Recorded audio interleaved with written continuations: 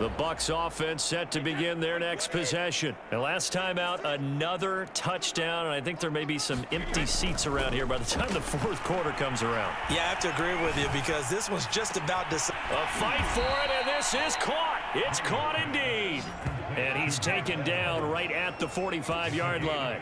It's a gain of 35. The dynamic duo is doing damage in this one, and they've certainly been on point throughout. And they hook up again for another big play. So the big play moves them all the way across midfield. It's first and 10 from the 45. On play action, it's Brady. He's going deep for Brown. And this is caught. And he's into the end zone. Touchdown, Buccaneers.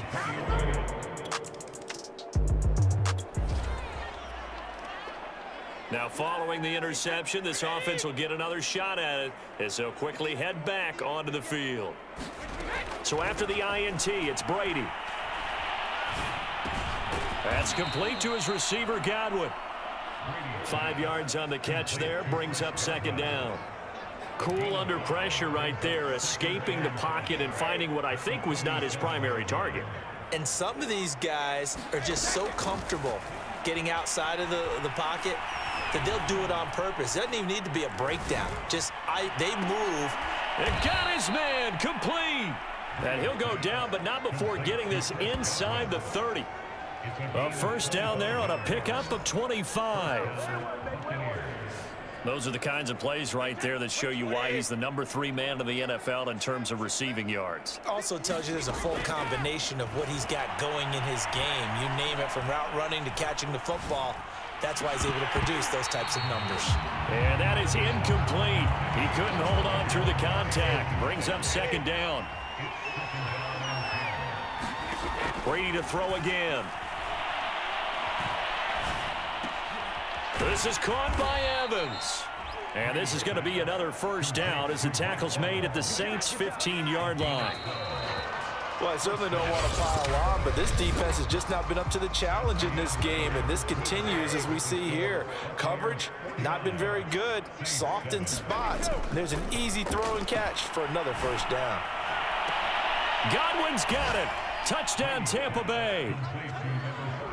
Chris Godwin his second touchdown of the afternoon. And the Bucks add on to their lead, and it's looking like that win streak is going to extend another week. Even though they've got the Bucks offense set to begin their next possession. And right about now, heck, they might be wishing they did not have a bye week coming up next week. It appears they're going to go into that week off. And a most curious way there to burn some clock. That was wrong.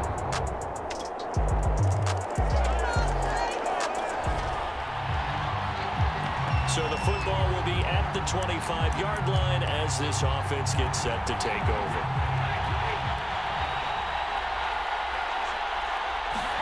Brady now on first down. He's going deep for Brown. And that is incomplete. Took a shot there on first down, but he couldn't reel it in. An incomplete pass leads to second and 10 from the 25. Brady Going to air it out deep for Gronkowski. And that will be incomplete. Trying to dial up the long one way out there, but it'll be third down. The Bucks on third down. Just one for three thus far. This is third and 10. And they get him down, but not before he takes it across the 40-yard line.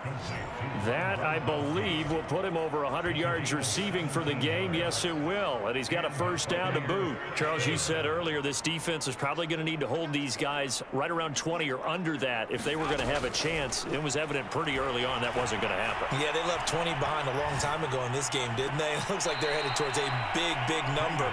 But 20 was the threshold because that kept them in the ball game and kept the pressure off of their own offense.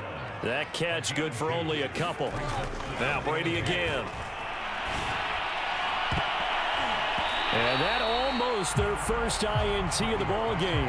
Had his sights on it, but he couldn't seal the deal. Fourth quarter. You've got the big lead. If you're coaching, Charles, you, you still taking shots like that downfield? I'd be a little more concerned with running some clock and making sure you're taking care of the lead because you keep flinging it around, you throw a couple of picks, you can put yourself in jeopardy. That's caught by the big tight end, O.J. Howard. And he's going to get this down to the 35-yard line. First catch for the NFL's leader in receiving yards at the midway point. It's a first down.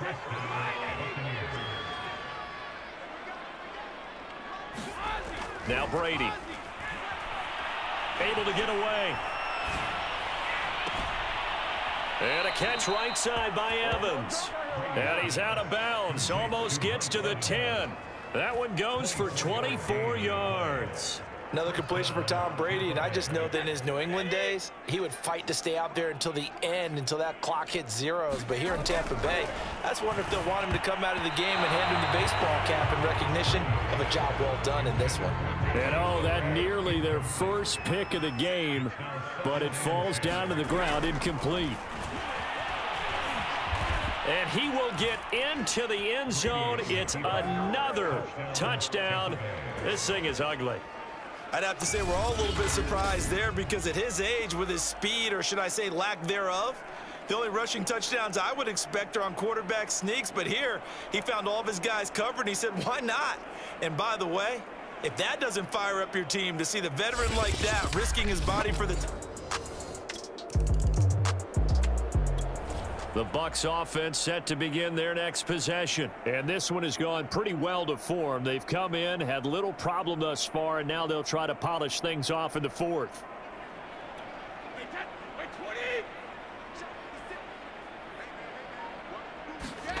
Throwing on first down is Brady.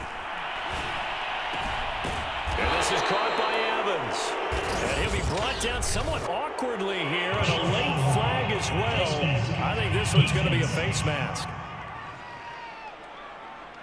So they'll take the yardage and tack on 15 more for the face mask. Talk about a play that absolutely costs you in the end. Just trying to do your job, right? Trying to get him on the ground.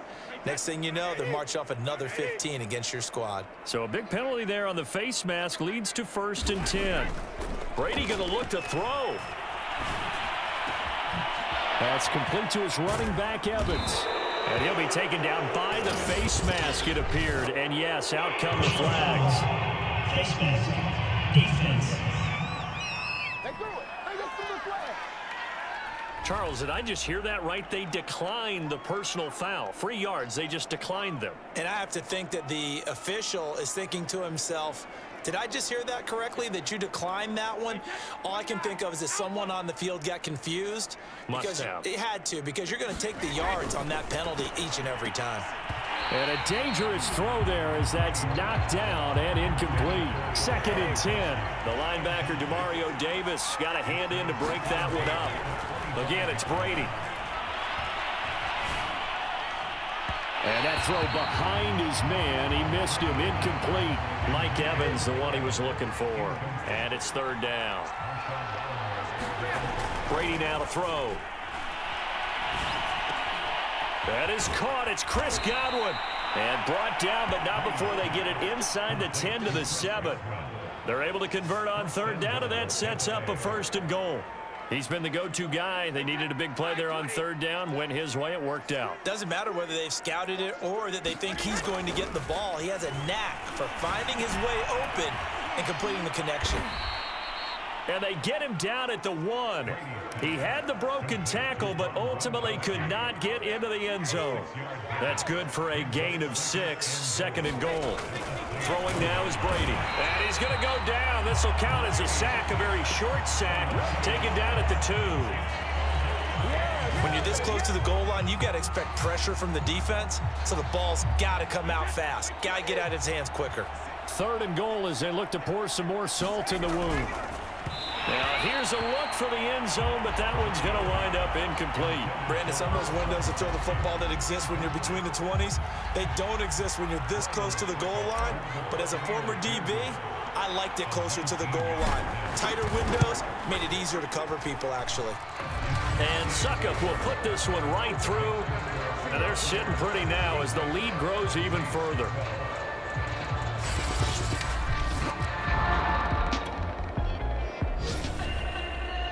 Big offensive explosion help leading them to victory. And the defensive guys, they're just saying, hey, put those points up every week. We'll just keep winning.